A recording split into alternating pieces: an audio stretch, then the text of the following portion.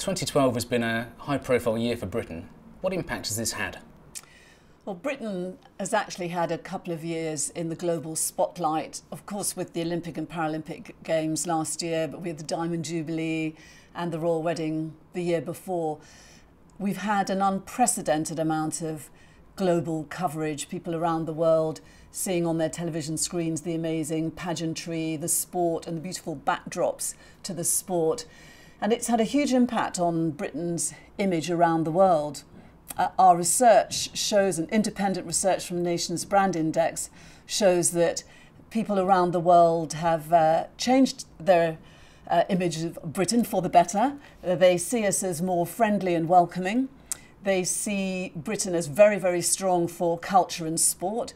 and uh, they also think that um, we've got beautiful countryside. Impressions of the beautiful landscape have improved. And um, we can also see that there is a, an increased desire to visit Britain. So it's just been incredibly positive from an image point of view. How has the Great Campaign changed perceptions of Britain? Well, of course, the work that we did around the Olympics was to do uh, the marketing of Britain under the banner GREAT as part of the GREAT campaign. We had a huge programme before the Games, we did a lot of PR during the Games, and we had a marketing programme which kicked off the day after the closing ceremony. And uh, the impact of that now is coming through. We can see that uh, people, there are high levels of unprompted recall of the campaign, so where the advertising has been running, people remember seeing it, and of the people who the people who remember seeing the campaign are twice as likely to be visiting Britain, to be thinking about booking a trip here, or indeed already have booked as those who didn't recall the campaign. So we can really see from that that the campaign is working. What returns have you seen on the investment in marketing? Well, altogether, of course, everything we do is under the banner GREAT, whether it's the image advertising or our campaigns with partners. The campaigns that we run with partners, um, online tour operators, airlines, ferry companies, and so on, um, they're all about booking now, closing the sale, people actually coming here. And when we evaluate all of that together and the work that we do online and our digital work, we get a we can come to a, a, a, return on investment or a difference that Visit Britain makes. Um, and in the last year, that difference is overseas visitors spending of 460 million pounds in this country as a result of our marketing effort.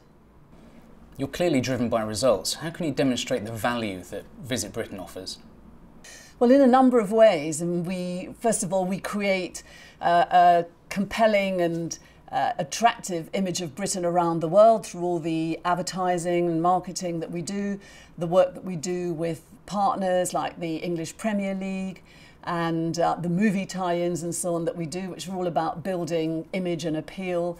Um, and then with the work that we do with uh, commercial partners, which is about closing the sale. And partners find us attractive because of our um, our global network, the insights that we bring, and the Britain brand that they want to work with and align with. So we can prove our value across our marketing assets, our international network, and our marketing competence. And, and at the same time, we want to run, of course, a, a very efficient and effective organisation and uh, driving down costs where we can and keeping our staff numbers level at the same time that we are managing a, a bigger business. We have a, a, a, quite an increased turnover on the business, uh, not just be, uh, through our government grant, but through the extra great money. And um, I'm pleased to say that we've also been able to save money through um, moving office in London, moving to really nice premises, but actually cost less and co-locating nearly everywhere around the world with the Foreign Office, um, which has also saved us money, but also aligned us with one of our absolutely key British government partners. How has inbound tourism performed since the Games? Well, the, by the end of last year, we had a 1% increase in visitor numbers and a 4% increase in visitor spend. Which was a really good outcome for the Olympic year, where we know that there is the danger of people staying away from the city and therefore the country that's hosting the Games. So it was a really good, strong performance. There was a good post Games bounce. This year, the figures are very, very good. At the moment, uh, we are 13% up in terms of the value of uh, tourism spend in the UK, the, the results that we have so far. And so I'd like to think that we really are seeing cause and effect here. We had the years in the spotlight, we had unprecedented amounts of very positive global coverage, and then all the work that Visit Britain and our partners and others have done to really maximise that. That uh, showcase and turn those viewers into visitors, and that people are actually booking and coming to Britain. And how do you sustain that success? We want to sustain that success by setting a long term strategy for tourism to Britain. And we did that in um, earlier this year when we published a strategy which takes us through to the year 2020. And in that, we set out an ambition of attracting 40 million visitors a year by the year 2020. So that would be up from our current 31 million visitors.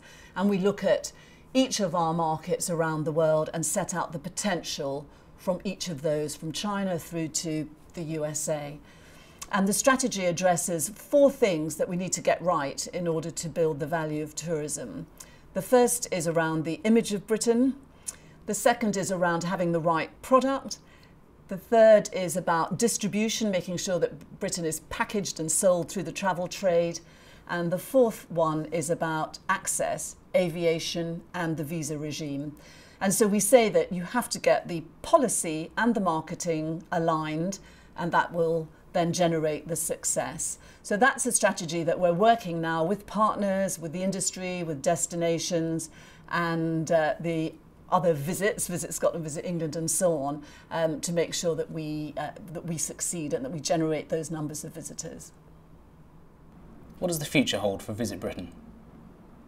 Well, we want to continue to work on the Great Campaign and uh, it, uh, evolve that, bring more partners into the campaign. Uh, so we've got some fantastic partnerships already with British Airways, EasyJet. We signed a new partnership with Emirates, for example.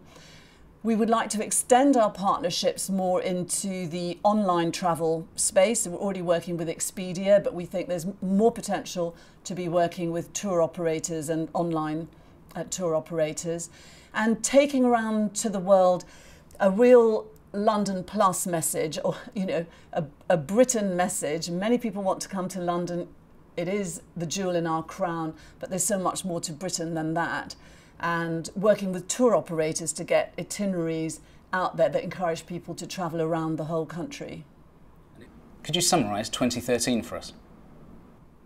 Well, 2013, I think, has been a really strong year of consolidation of the effort that we put in in the run up to the Olympics and during the Olympics. And now we're reaping the uh, benefit of that and really, you know, turning viewers into visitors and actually getting the tourism dividend as we see the visitor numbers coming in this year there's still, you know, a very competitive world out there. We've got to fight hard to keep Britain in the spotlight and working with partners to get people to come here and working with our partners in the nations and regions of the UK. Next year, there will be a big focus on Scotland because Glasgow's hosting the Commonwealth Games. There's a big homecoming promotion, and there's also the Ryder Cup. So we can use some of what the experience that we've gained through hosting the Olympics and what Visit Britain did around that uh, to help to leverage the opportunities of the Commonwealth Games. And the year after that, we will have uh, England hosting the Rugby World Cup, for example, um, and you know, a huge amount of opportunities there. So as we look forward, I think we can see a lot of really strong opportunities in terms of um, events that Britain is hosting and you know, all sorts of compelling reasons why people should be coming here and spending lots of money.